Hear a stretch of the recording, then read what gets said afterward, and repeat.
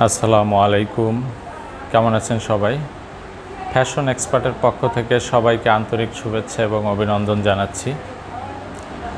বন্ধুরা, আমি আসলে আপনাদেরকে আজকে একটা ভিন্ন বিষয় নিয়ে আজ- আজকে আপনাদের সামনে আমি আলোচনা করব। তো আসলে ব্যবসা বাণিজ্য আমাদের যেমন একটি প্রয়োজনীয় জিনিস, তেমনি আমাদের বেঁচে থাকাও একটি প্রয়োজন। এবং আমাদের দেশটি নয় মাস মুক্তিযুদ্ধের পর স্বাধীন হয়েছে। আজ অতি দুঃখের সাথে জানাচ্ছি যে বার্মার মতো একটি একটি মানে নিচু মানের দেশ, এদের খাদ্যাভ্যাস যদি আপনি দেখেন, একদম নিকৃষ্ট মানের। এদের পোশাক আশাক, এদের চাল চলন, এদের ধর্ম, এদের সব কিছু একদম নিচু লেভেলের অনেক নিচু লেভেলের তো আমরা যে কাজটা করছি, সেটা হচ্ছে একটি প্রধানমন্ত্রী শাসিত যে আমাদের সরকার, তো আমাদের যে উচিত ছিল, সেটা হচ্ছে আমরা যখন অর্থনৈতিকভাবে ডেভেলপ হচ্ছিলাম, আমরা অনেক সূচকে ভারতের থেকে এগিয়ে এবং ভারতের থেকে এগিয়ে এবং পাকিস্তানের থেকেও অনেক ক্ষেত্রে আমরা এগিয়ে আছি এবং বার্মার থেকে আমরা বহু বহু গুণ এগিয়ে আছি। তো এখন আমাদের বিষয় যে আপনি শুধু, আমি শুধু ব্যবসায়ী হব আর টাকা কামাবো, কিন্তু এই যুগে আমার কোনো ক্ষমতা থাকবে না বা আমার ক্ষমতার প্রয়োজন নেই। এমনটা যদি চিন্তা করি আমি, তাহলে কিন্তু আমার সেই ব্যবসা একটা সময় আমি দাঁড় করিয়ে রাখতে পারব না। আপনি যদি চিন্তা করেন আপনারা যে বাংলাদেশের যত বড় বড় ব্যবসায়ী আছে, তাদের হাত কিন্তু অনেক লম্বা এবং অনেক শক্ত। কারণ তারা বাংলাদেশের চৌষট্টি জেলার যে কোনো জায়গায় যে কোনো প্রয়োজনের সমস্যার সমাধান করার মতো শক্তি সামর্থ্য তাদের আছে। আর এজন্যই তারা দেশের বড় বড় ব্যবসায়ী। তো এখন আমার প্রশ্ন যেটা, সেটা হচ্ছে যে, আমাদের দুর্বলতাটা কোথায়? আমরা একটি দেশকে, আমাদের দেশকে আমরা গার্মেন্টস ব্যবসায় বিশ্বের বিখ্যাত করে তৈরি করেছি এবং আমরা বিভিন্ন প্রোডাক্ট এখন তৈরি করছি, গার্মেন্টস প্রোডাক্ট, শু, বিভিন্ন ধরনের জিনিসপত্র আমরা তৈরি করছি। এবং ফেব্রিক তৈরি করছি। আমাদের দেশটাকে, আমাদের দেশের দুর্নীতিবাজ লুটেরারাই একদম শেষ করে দিয়েছে। কারণ আমাদের দেশে মসলিন ছিল। আরে পৃথিবীতে আপেল যে দেশে চাষ হয়, যেসব দেশে তাদের এই ফলগুলি হয়, সেখানে এগুলি বাগানে, জঙ্গলে পড়ে থাকে। আমাদের দেশে যেমন গ্রামে গাপ এখন বাগানে, জঙ্গলে পড়ে থাকে। কিন্তু ঢাকা শহরে কিন্তু এখনও দাম আছে। তো আমরা আমাদের যে ন্যাচারাল জিনিসপত্র, সেগুলোকে রপ্তানির কোনো উদ্যোগ নেই নেই। আমরা কি করছি?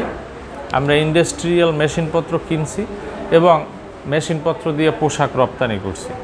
আসলে আপনি একটাবার চিন্তা করে দেখেন, এই মেশিন রপ্তানি বন্ধ হয়ে গেলে আমাদের পোশাকের কি অবস্থা হবে? এবং আমরা জ্বালানিতে স্বনির্ভর না। এটা আমাদের একটা দুর্বলতা। আমরা এখন বাতাসের মাধ্যমে টারবাইন বিদ্যুৎ আবিষ্কার, ময়লা, ময়লার মাধ্যমে উন্নত মানের বিদ্যুৎ আবিষ্কার, এমনকি সোলার আবিষ্কার, এগুলোর দিকে না ঝুঁকে আমরা কয়লা ভিত্তিক বিদ্যুৎ কেন্দ্র, আমরা গ্যাসের বিদ্যুৎ কেন্দ্র, আর পুরোটাই আমদানি নির্ভর। এমনকি এগুলো সেটিং করার জন্য ইঞ্জিনিয়ারও আমদানি নির্ভর। কোনো সমস্যা হলে সেটাও বিদেশি ইঞ্জিনিয়ারকে দিয়ে দেখাতে হয়। আসলে আমাদের ব্যর্থতাটা কোথায়? আমাদের দেশে একটা শ্রেণি আছে যারা একটি প্রতিবেশী রাষ্ট্রের হয়ে সবসময় কাজ করে এবং আওয়ামী লীগ হোক, বিএনপি হোক, জাতীয় পার্টি হোক, যে দলই ক্ষমতায় আসে, এরা এই দলগুলির ভিতরে ঢুকে সরকারকে ভুল পথে পরিচালিত করে এবং সরকারি বিভিন্ন ধরনের ইনফরমেশন বিদেশে পাচার করার কারণে সরকার চাপে পড়ে যায়।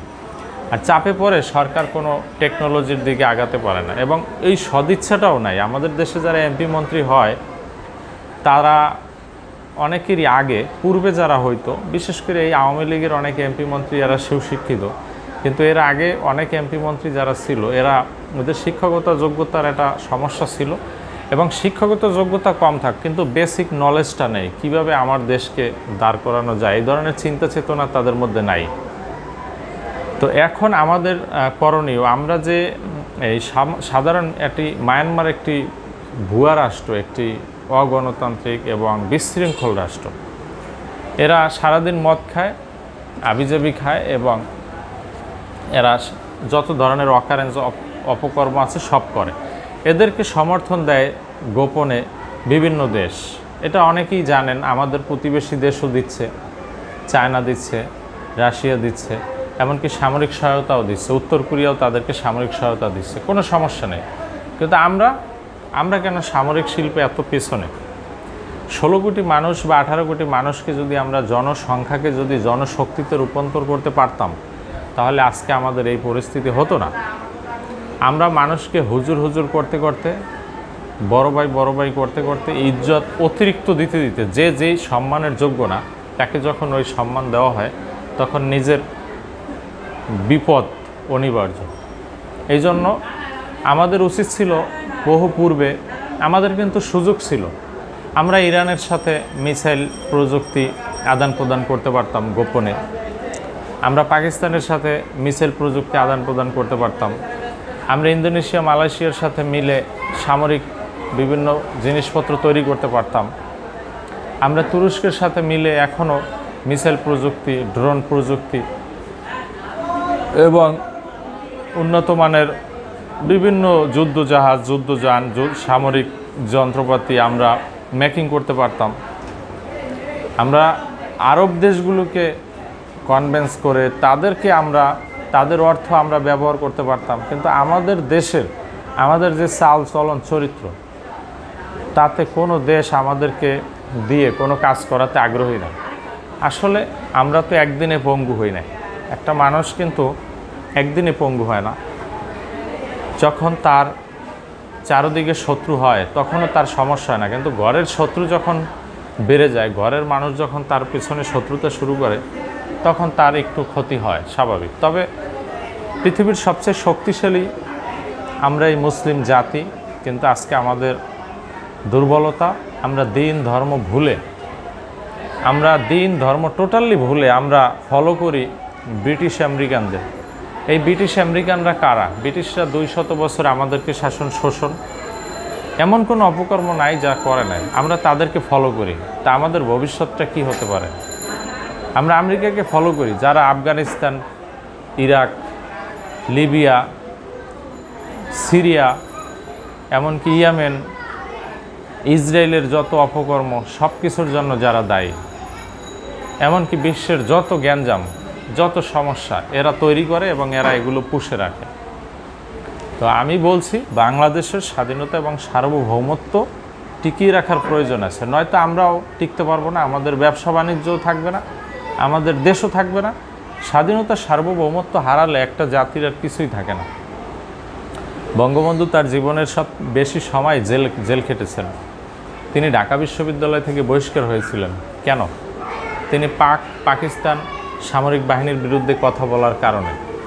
পাকিস্তান সরকারের দোষ ত্রুটি তিনি মানুষের সামনে তুলে ধরছে, এটাই তার অপরাধ।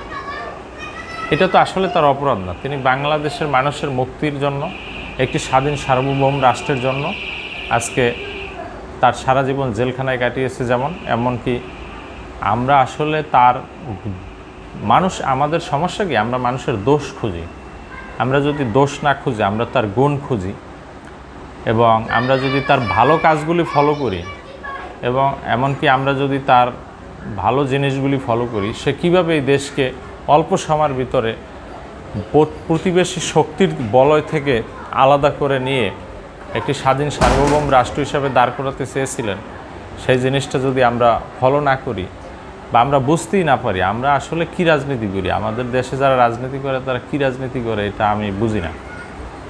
কারণ একটি রাষ্ট্রকে আর্থিক সচ্ছলতার পাশাপাশি সামরিক সচ্ছলতার প্রয়োজন আছে। আজকে দুই হাজার বাইশ সাল, এখন সেই যুগ নেই যে আমি লুকিয়ে থাকব বাগানে, আমাকে কেউ খুঁজে পাবে না। এখন ডিভাইস দিয়ে ট্র্যাকিং করে কে কোথায় লুকিয়ে আছে সেটা বের করা যায়। সুতরাং প্রযুক্তির মাধ্যমে আগাতে হবে আমাদের।